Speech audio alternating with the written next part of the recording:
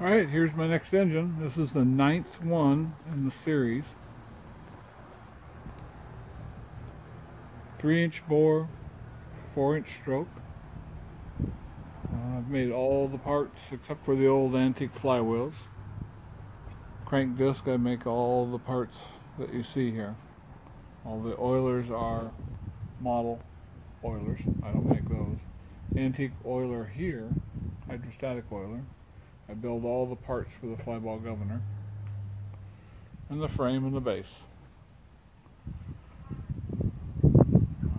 Give it a little steam here. I'm just running it off of a 20 inch boiler.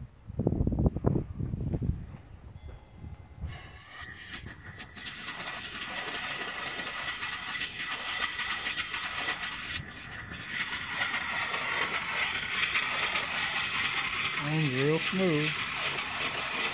Like I say, three inch bore, four inch stroke. It's a mill engine.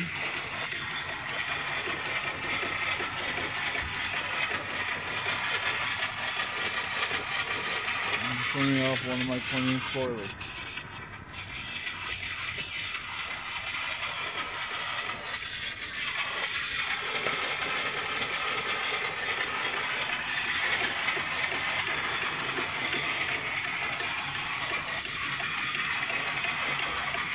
And it's brand new.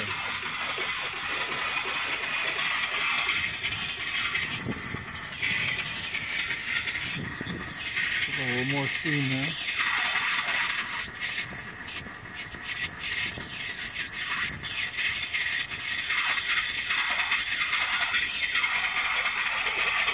That's about it.